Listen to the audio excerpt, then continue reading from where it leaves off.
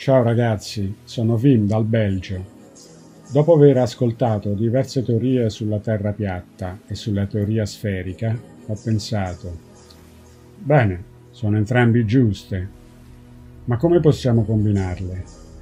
Poi un giorno ho avuto un'idea, una possibile soluzione. Non sto dicendo che sia vero o non vero, ma è una possibile soluzione. È molto semplice, ma allo stesso tempo molto molto spaventosa. Ok, Inizieremo con la teoria sferica. Quindi è semplice.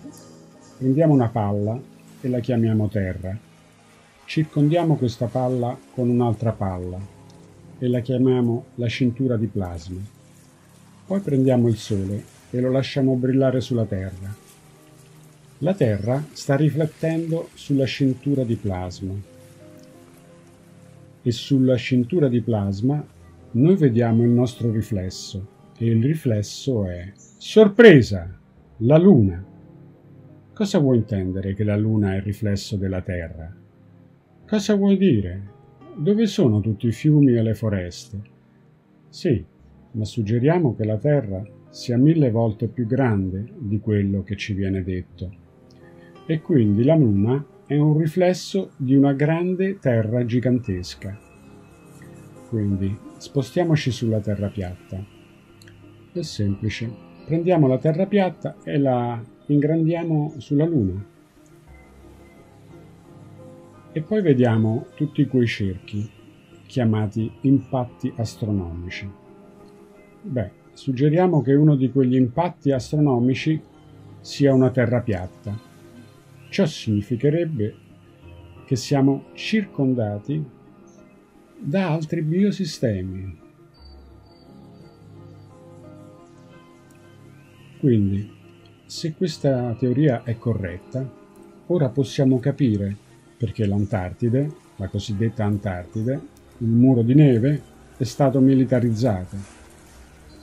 Abbiamo paura che altri biosistemi ci attacchino. È come nella serie del Trono di Spade, dove c'è un gigantesco muro di ghiaccio che ci protegge da specie invasori. Così, quando senti un'altra storia sugli alieni provenienti da altri sistemi stellari, beh, forse non vengono da altri sistemi stellari. Potrebbero provenire dal pianeta Terra. Forse su un altro sistema hai specie umanoidi che sono dominanti. Forse su un altro biosistema ai rettiliani o insettoidi, specie dominanti. E quando sentiamo la storia di Giulio Verne, quando le persone vanno al centro della Terra e scoprono un mondo completamente nuovo, forse ci sono tunnel qui sulla Terra, dove puoi raggiungere altri biosistemi. E invece di andare al centro della Terra, tu stai andando in un altro biosistema. Perché non dovrebbero dirci tutto questo? Forse le elite stanno pensando, beh, la nostra popolazione non è pronta per queste informazioni. Andranno nel panico quando sapranno che non siamo soli su questo pianeta. Personalmente preferirei sentire la verità piuttosto che essere mentito tutto il tempo. Quindi ragazzi, cosa ne pensate? Sapete, non sto dicendo che sia la verità assoluta, è un suggerimento, è una buona idea, è creativa. Quindi fatemi sapere cosa ne pensate. Se pensate che sia pura follia, nessun problema, posso conviverci, ma penso che ci siano alcune buone idee in tutto questo. Che ne pensate?